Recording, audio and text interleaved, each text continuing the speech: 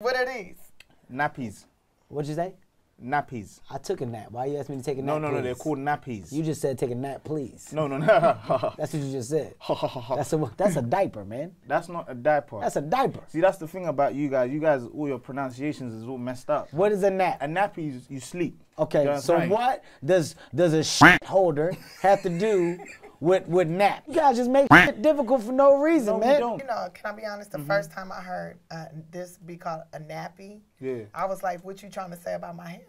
Oh, but Yeah. yeah, nappy hair. Yeah, Like- he, he's got nappy hair. What, we what just you- had it. so what nap- you trying nap to top. say is, Yeah. so like nappy hair, it holds.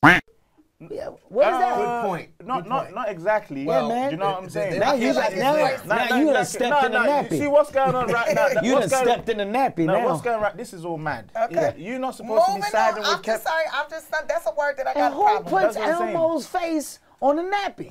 I don't know.